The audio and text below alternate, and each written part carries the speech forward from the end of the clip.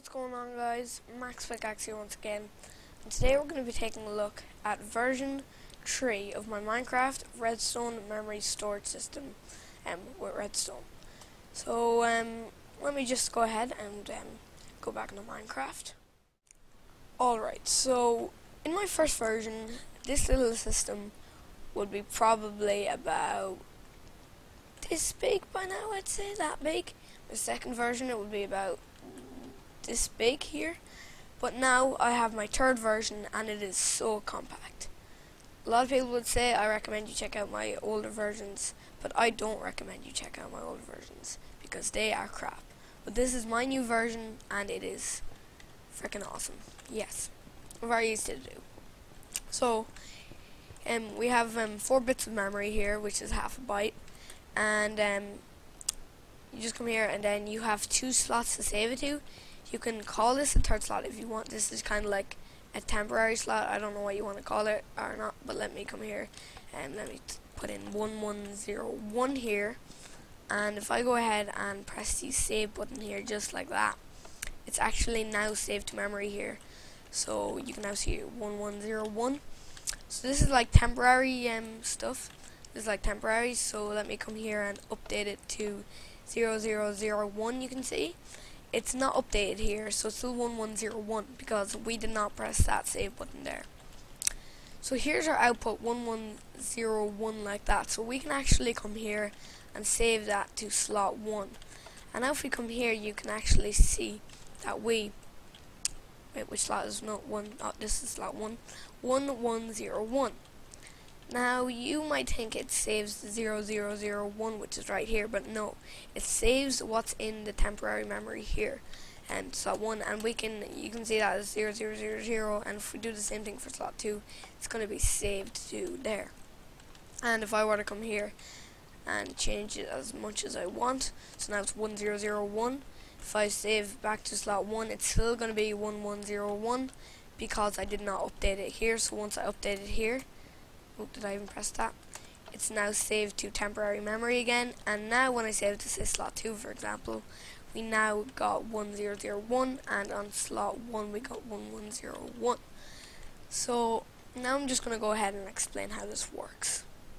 And as I'm explaining, I will actually do the tutorial, and just before that, I want to mention that each single um, bit that you update um, with this system um, with 4 bits um, here on your bits here it's actually exactly the same delay when updating all of them. And when you hit that save button it's the same to save slot 1 and slot 2 now I'm actually in creative mode here if you didn't notice. Okay so here's all the items you need to build this system. So to begin you're gonna um, come here and do as many bits as you want. I'm just gonna do um, 4 for the purposes of this video. You can extend this if you want. And you're gonna put 4 inputs here, just like that. Then for each bit of memory, you're going to place a repeater here, just like that. Just repeat this um, like that. And um, for each um, bit, slot, whatever you want to call it, and um, just like that. Now you're going to get your building blocks and build them over it, just like this, and repeat this system each time. So it's the second repeat, third repeat, and finally for repeat, but we do not need to do two extra here because we're not leading into a fifth bit. So you just need to stick it in like that. After doing that, you're going to get this, um, and you're going to place a redstone torch here with a block on top. And then you're going to input your button here, and if you want, you can also put a sign with text on it. Save to temporary memory. After that, you're going to come here, and you're going to put a redstone on either one, just like, oops, just like that to place, um, you're just going to follow this pattern for as many blocks as you want to go upwards, or as many slots as you want to do.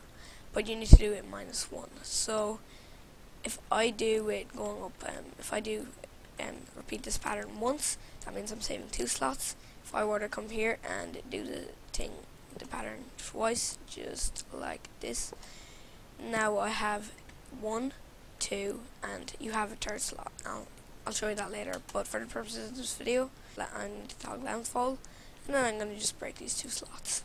After you toggle downfall, you're just going to repeat them, this in each slot, just very quickly. And when you're complete with that, um, you're going to count how many redstone torches you have, and each redstone torch is a tick delay um, here, so um, I have two redstone torches on um, either one, so we're going to put um, a repeater on two ticks of delay um, for each one, just like that.